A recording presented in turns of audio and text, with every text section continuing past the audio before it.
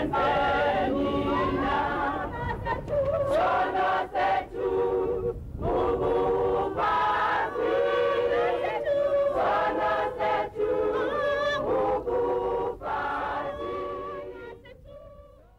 sat on the grass, and he asked if I loved him.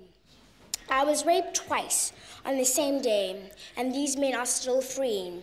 Why are they still free? Why did the men do this to me?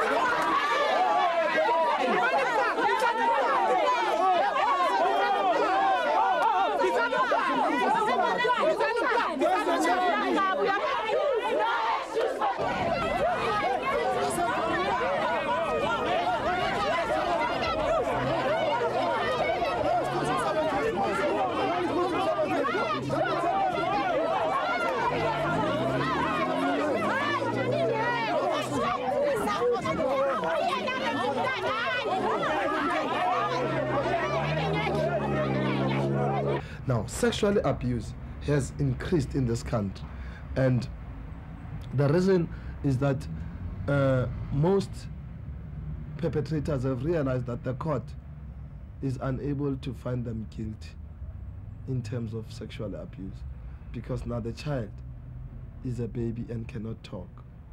So they go for children.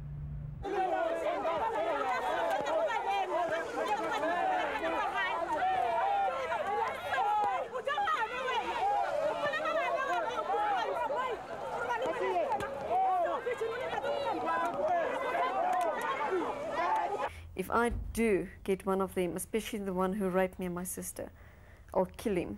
I don't even want to think of what I'll do to him. They must just give him to me. We, we should not make it a new crime all because it has happened to white South Africans, it has happened in their home uh, uh, by black uh, men. We, we should not make it a new crime.